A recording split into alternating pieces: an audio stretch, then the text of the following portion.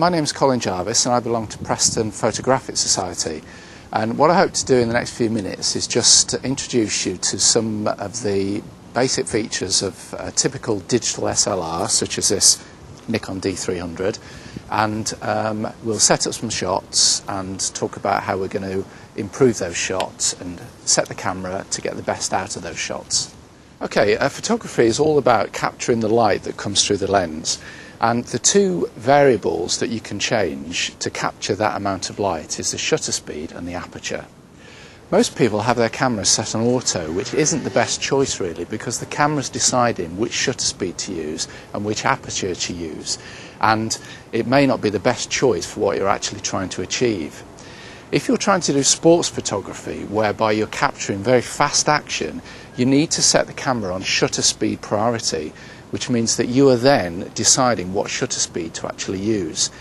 If you want to capture fast action, you're going to need to use a fast shutter speed, such as a thousandth of a second. Whereas if you want to blur the action to get a creative shot, you might want to set the shutter speed at maybe a fifth of a second. In which case, of course, you'd have to have a tripod to make sure that you're not uh, shaking the camera when you're taking the shot. Okay, in this uh, setup, uh, I've set the camera to shutter speed priority. So what I'm doing, I'm actually changing the shutter speed on the camera and the camera is automatically adjusting the aperture to get the correct amount of light onto the sensor. Now I'm going to use the slow shutter speed in this case because I want to blur the movement of the seagulls as they're flying around to make a bit more of a creative shot than just having them frozen on the on the film. So I've set the um, shutter speed to a 25th of a second and the camera selected f20 as the aperture. So hopefully, when the birds start moving and I press the shutter, shutter release button, the seagulls are going to be nice and blurred in the image flying across the screen. So we'll try that.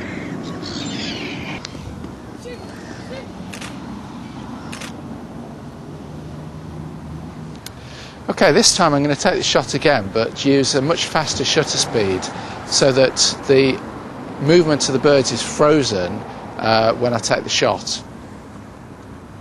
So this time I've chosen, chosen a shutter speed of two and a half thousandth of a second, really, really quick.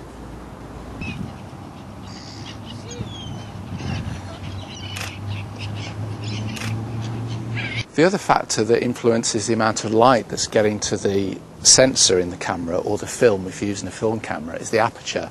And the aperture is the hole in the lens that allows the light through. The setting on the aperture depends on the depth of field. So if you have a, very small aperture, very small hole that the, lens, that the light is going through, this will give you a very big depth of field. The other factor that influences the amount of light that gets onto the sensor on the camera or the film, if you're using a film camera, is the aperture. And the aperture is basically the hole in the lens that allows the light in. If you use an aperture of perhaps f22 on the lens, it means that um, everything's going to be in focus from the front of the lens right the way out into the distant background. Now that's probably not the best uh, aperture to use if you're trying to take a portrait, as we're going to do in a second, because what we're trying to do with the portrait is to uh, isolate the figure in the portrait from the background. Because if we've got all these uh, boats and things in the background, and they're in focus, it's going to make things look a bit distracting. So the best way of doing it is to change the aperture on the camera to maybe something like f2.8, which means that um, everything's going to be in focus just in the first couple of feet, and then in the background it's going to be nicely out of focus, nice blurred, so that you're actually isolating the subject from the background.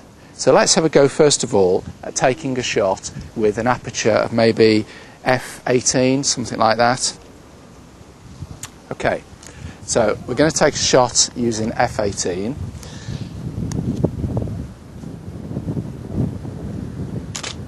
Okay, now on that shot, uh, the boats are going to be quite um, distinct in the background, quite in focus. So we're going to change the aperture down to something like f2.8 and you should see that the boats go really nicely blurred and yet the subject in the front maintains its sharpness. Let's move back a bit. Okay. Okay, in this shot, uh, we're going to use a reflector just to bounce a little bit of uh, uh, light back into the subject's face. Um, even though it's a fairly soft uh, lit day, it's not very harsh shadows or anything, it's often a good idea just to use a bit of reflector, just to put a bit of light into the subject. So we're going to take the shot again.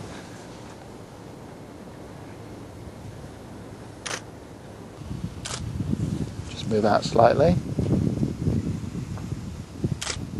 Okay.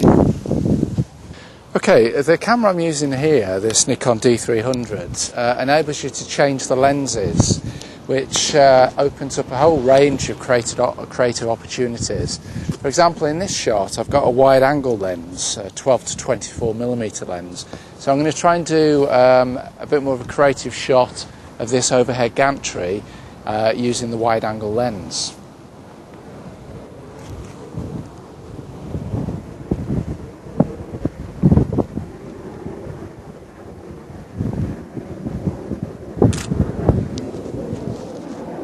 Okay, and as you'll see when you see this shot, um, it's right up close, quite distorted because of the wide angle of the lens.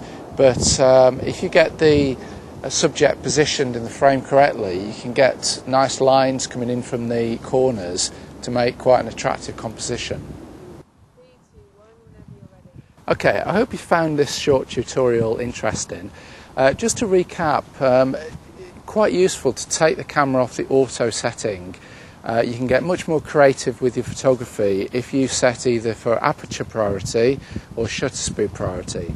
Just to recap about aperture, it means that you're controlling the depth of field when you set your aperture so that you can have the subject in focus, the background nice and blurred, or alternatively, you can have the whole thing in focus. For example, if you're taking a shot of a landscape. Shutter speed priority means that you're setting the shutter speed, slow shutter speed if you want to blur some of the action, fast shutter speed if you want to freeze it, so if you're taking shots of sports or motor racing or something like that. So once again, I hope you found it useful. If you want to extend your photography, why don't you pop down to Preston Photographic Society? Uh, you can find us on the website, do a search in Google for it. Season starts in September. Thanks very much.